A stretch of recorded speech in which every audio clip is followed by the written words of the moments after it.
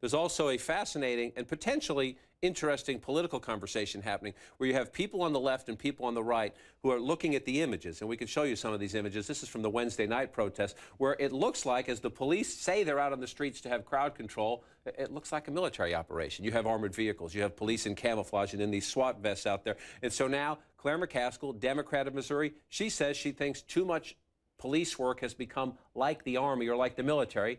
Listen after 9/11, um, in in a in sometimes a knee-jerk fashion, we began equipping police departments with all kinds of tools that had not been typical of policing in this country.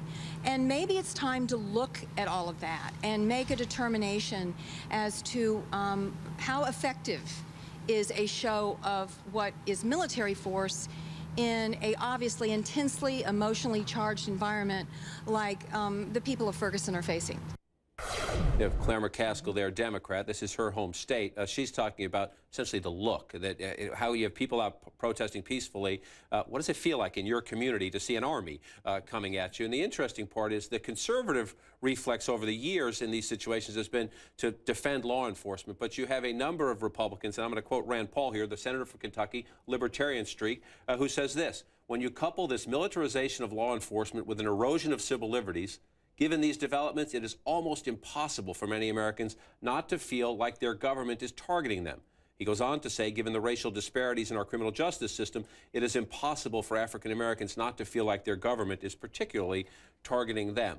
Uh, so a bipartisan consensus will something happen or will we just talk about this? I suspect we will talk about it for a while, but the conversation, as you note, is moving from both the left and the right. This is right. sort of the vestiges of the post-Occupy Wall Street days on the one hand, and then you have judicial reform coming from the right on the other. But Rand Paul's uh, op-ed on this was actually very different than where a lot of his party was. Some people spoke out about the arrest of reporters. One of his right. colleagues was arrested, um, and that struck them as over the line. But in terms of where Rand Paul went, that really was sort of a, a wake-up call to his party, I think, more than you've seen anyone else do. But I, I would say that you know, police hassling arresting reporters is over the line. Uh, much more important is the treatment of the citizens in this community. I'm not right. minimizing the work of the brave reporters who are out there too.